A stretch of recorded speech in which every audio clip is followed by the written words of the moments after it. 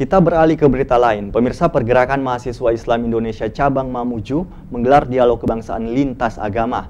Kegiatan tersebut digelar sebagai langkah antisipasi terhadap maraknya penyebaran isu kekerasan terhadap ulama dan tokoh agama serta isu kebangkitan PKI. Organisasi Pergerakan Mahasiswa Islam Indonesia Cabang Mamuju menggelar dialog kebangsaan lintas agama.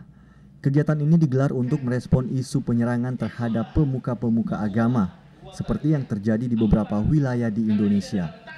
Dialog tersebut menghadirkan lima narasumber, yakni pengurus pusat GP Ansor, Kabit Pendidikan Kanwil Kemenak Sulbar, Wakil Ketua PSMTI Mamuju, tokoh agama Hindu, dan tokoh agama Katolik Santa Maria. Ketua PMII Cabang Mamuju Wais Walkorni mengatakan, kegiatan ini merupakan langkah antisipasi dini dengan mengajak seluruh tokoh agama untuk menjaga kebinekaan dan NKRI dari ronrong orang-orang yang ingin memecah belah bangsa Indonesia.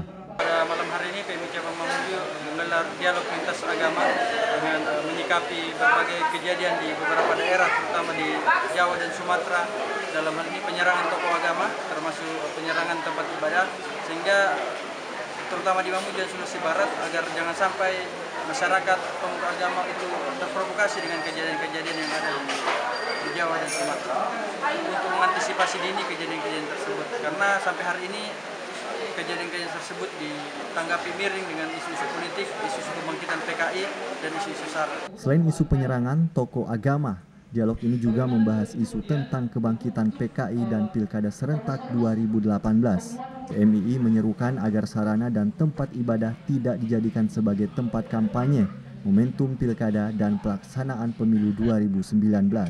Usai dialog seluruh peserta yang hadir kemudian mendeklarasikan penolakan terhadap berbagai isu miring yang beredar, termasuk penolakan untuk menjadikan rumah ibadah sebagai tempat kampanye.